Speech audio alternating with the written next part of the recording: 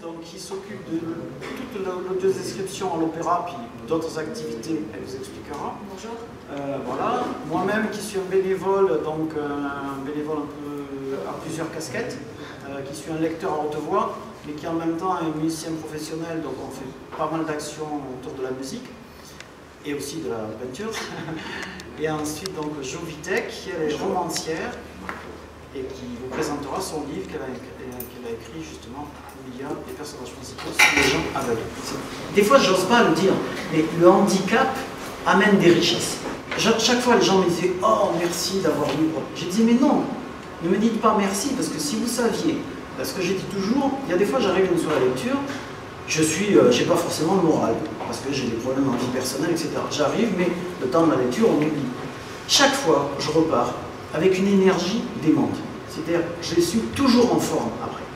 Parce que ce que j'ai découvert chez tous les, non-voyants avec qui je suis, qui maintenant je pense on est devenu un, groupe d'amis avec tout ce qu'on a partagé, c'est cette énergie énorme qu'il y a à l'intérieur de vous. Euh, ben, pour aller au spectacle, il faut en avoir, il faut que quelqu'un vous en donne l'occasion.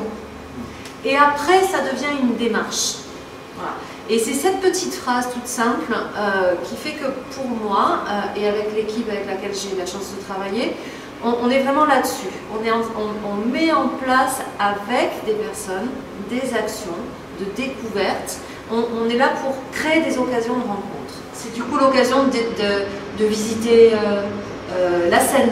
Alors on est sur des visites tactiles, on va pouvoir aller toucher le décor. J'avais envie d'une héroïne qui ne voit pas dans ce monde de l'image, d'une héroïne de 15 ans qui ne voit pas. Je me suis dit, à 15 ans, on se construit avec le regard de l'autre, comment on fait?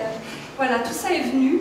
Et comme je ne connaissais pas autour de moi de, personnes très malvoyantes ou non-voyantes, ma première idée a été d'aller vers l'INJA euh, à Paris, Institut National des Jeunes Aveugles, où on m'a euh, gentiment accueilli. J'ai voilà, proposé des ateliers d'écriture euh, en échange de cette de cette discussion avec ces ados qui vivaient au quotidien euh, ce, handicap. Un télo est terriblement susceptible.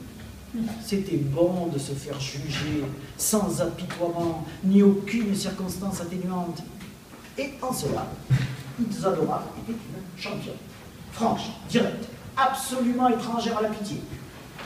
Ce n'est pas le cas de tout le monde, surtout des garçons de moins de 18 ans. Bora, vamos ser